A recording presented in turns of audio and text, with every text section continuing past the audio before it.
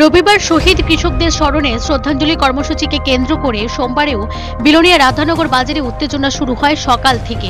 পরিস্থিতি সামাল দিতে পুলিশকে দু রাউন্ড ফাঁকা আওয়াজের পাশাপাশি ছুটতে হয়েছে কাদানঙ্গেশ জানা যায়, সমীর পাল, শিমুল পাল ও বিকাশ দাস রাধানগর বাজারে সকালে সবজি বিক্রি করার জন্য যাবার পর অভিযোগ উঠে সমীর পাল, শিমুল পালকে বিজেপি পার্টি অফিসে ডেকে এনে মারধর করে আহত করে কিছু দুর্বৃত্ত।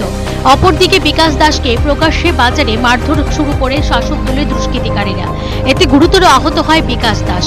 বামপন্থী শ্রমিকদের উপর আক্রমণের ঘটনার খবর পেয়ে দু শতাধিকের উপর বামপন্থী কর্মী সমর্থকরা রাধানগরের বাজারে পাল্টা প্রতিরোধ গড়ে তোলে।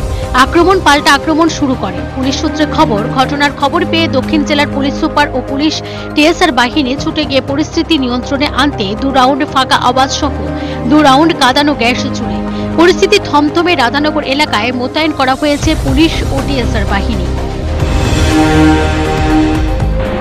আপনারা কি লেগে মারছে যে মাছের দোকানে নাই বাজারে দোকানদারি করতেছি।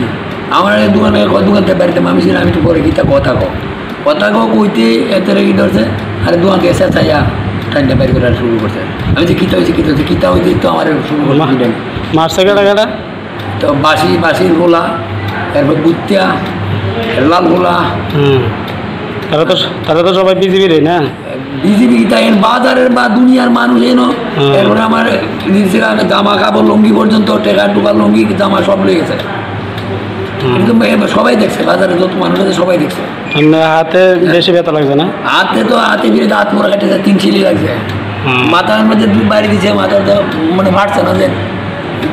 মনে তো বাচ্চা গেছে ফাটছে না। হাত ভাঙ্গে গেছে পিঠ করে গেছে